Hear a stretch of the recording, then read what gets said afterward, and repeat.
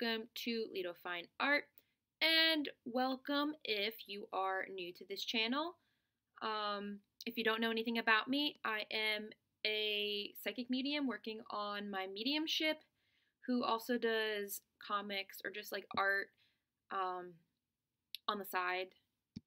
And yeah, so this video today is going to be about the McKamey Manor, and I hope I said it right because if I didn't, I am sorry. But anyway, if you don't know anything about it, it's basically this haunted house that claims that you need like a 40 page um, consent form or waiver that you have to, you know, go through all the steps to fill it out. And that includes like doctor visits and stuff and health checks to make sure that you are able to withstand the trauma that you will be facing during the haunted house. Now, I believe it's located in San Diego. Let me just double check that to make sure I'm right. Yeah. And I think I heard about there being two other places, one in like Tennessee and one in Alabama. Don't know how true it is. I didn't exactly research a lot of it because I kind of, I don't know, I don't want to form some kind of biased opinion. I just want to go off based of what I'm getting, like psychically and energetically and whatnot. So, what about this manor? Oh, so it's claims to be a haunted house, but really what it is is a torture house. Let's be real. Um, could there be spirits there? Oh, for sure there's spirits there. And um, I don't know how active they are in haunting, but the house itself doesn't really focus on the haunting aspect really. It's really only to torture you like physically and mentally torture you through like um i don't know i think this said waterboarding. You can be strangled. You can be stabbed. Pretty much if you put yourself in a horror film like what's a good example? Saw. You know the saw franchise that. Picture you being in that movie where, you know, to break free, you either kill your friend or stab your friend, cut their foot off to escape. It's that kind of gruesome stuff. And to be honest, even though there's a what a $20,000 prize if you win, but you have to of course stand withstand 10 hours of it. Um, first of all, who in their right mind would want to do that? Even if you're suicidal, you're not going to want to do that. So, I mean, if you're one of those adrenaline junkies, I don't know, don't recommend it. But what I'm getting from that, and I spent a few days trying to like meditate on it,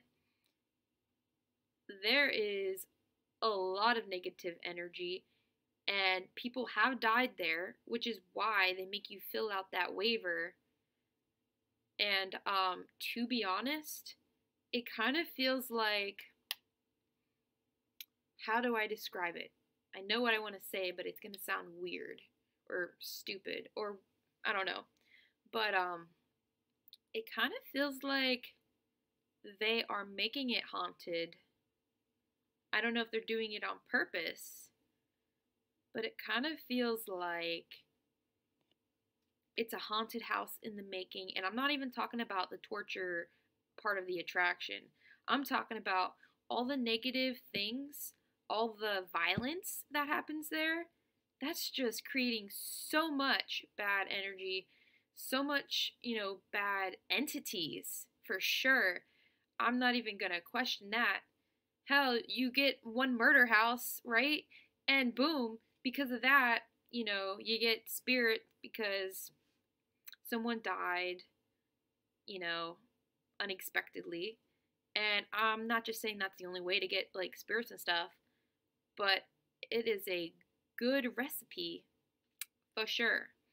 Um, and demons, they thrive on negativity. And that house, the McKamey house, is full of negativity. And I don't know how they are not shut down yet, but I'm pretty sure people are going to be petitioning to shut it down because of, you know, the, well, if you somehow, I don't even think anyone's made it through it, hence the prize. So basically, you're not allowed to end early unless you are physically incapable, as in you need a, a uh, medical treatment immediately. And they're not talking about like, oh, I scraped my knee or I broke my arm. They're like near death at how severe you have to be before you can go early. And you have to have so much mental trauma, which will probably last for the rest of your life, to even leave. And I don't even know what they consider severe enough mental trauma. Like, I don't even know what they consider for that. And for those who, um, again, how do I say this? For those who believe in the paranormal and are aware of what negative entities, demons like to feed on, it is negativity. If you have any kind of weakness, whether you're sick mentally, physically, um, you're just down in the dumps, you can have depression, anything that, you know, puts a chink in your armor. And by that I mean like in your aura, anything that makes you weaken pretty much is a is pretty much a homing beacon for demons. And I'm not saying this for everyone, but it is a good magnet, I would say, for, you know, such things. So let's say there aren't any spirits in that manor, whatever. But everything that you endure, you're going to carry for the rest of your life. And so you're going to attract those things anyway. So if you don't have them attached to you coming out, you won't be getting some, you know, as you progress through life because they're going to be attracted to you now that you are weakened. So, do you really want to play that game? Plus, what about yourself? Like, I don't know about you, but I can barely handle like a broken bone. I've had what? Two, three broken bones? That sucked. Like, it sucked. Now, being near death, I mean, I'm sorry, but is it really worth it? I mean, even if it's free to get in, well, free, if you pay in dog food, I guess it's not technically free. But again, why? So I don't recommend it. And as the paranormal side of it,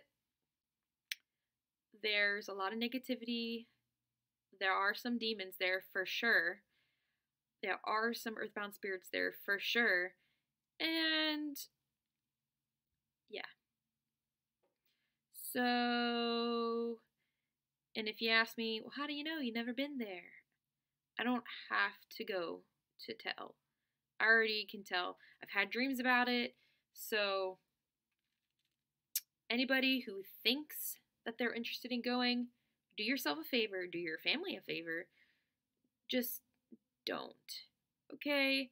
And, you know, the guy who runs this thing, and if he sees this video, I mean, I'm a nobody, so he probably won't see this video anyway.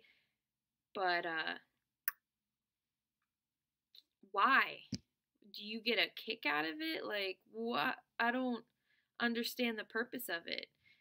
Um, are you trying to fulfill some kind of like serial killer fantasy? Like, what's going on?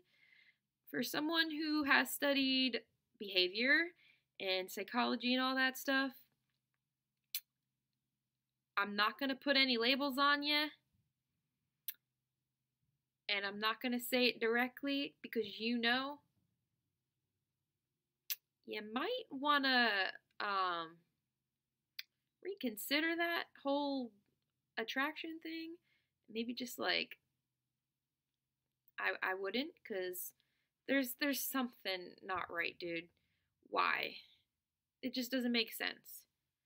So, yes, this is my video. Don't know how good it was. Uh, just like all my videos. It's a. But anyway, thank you guys for watching. And uh, see you next time, whenever that is. Peace out.